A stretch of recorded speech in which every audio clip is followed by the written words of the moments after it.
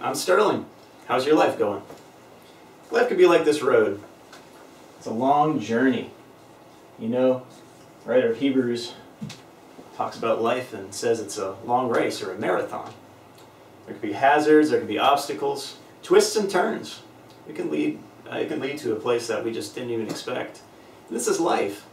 It can be like this road. Sometimes it's wearisome. Sometimes it's also empty. Life can leave us hanging. Can chase after things that really lead to nothing, and it's just fruitless. You chase after money, and then an accident happens, and it's all gone. These things are empty.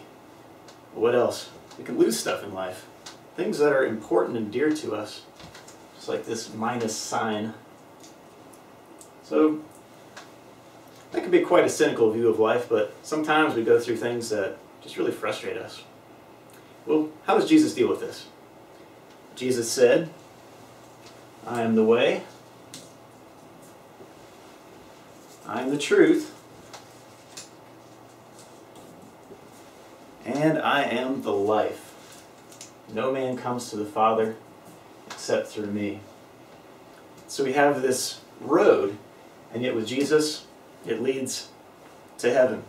You know, in John 14, which is where this verse is found, John 14, 6, earlier in the chapter, Jesus is saying to his disciples, saying, I'm going to leave you guys, and I'm going to prepare a place for you, that where I am, you may be also. And what Jesus is saying is, I'm about to die. I'm about to sacrifice myself for the sins of the world. I'm about to die a criminal's death in your place. And yet you know the way. And then Thomas, one of the disciples, asks him, Lord, how are we going to know the way when you're gone? Because this is their rabbi, their master that they've been following. And yet Jesus says, I am the way, I am the truth, and I am the life. And so Jesus' promises are true. He's the way, He's the way to heaven. He's also true. He's reliable, He's trustworthy. And so what He says is legit, and we can believe in it. And He is the life. Just like this plus, kind of like a first aid symbol. He can bless us with the things in natural life, right here, in earthly life. And uh, He can also do the miracle of giving us spiritual life and life that's forgiven, life that's found in Him, found in Christ. And so, the application here what to do?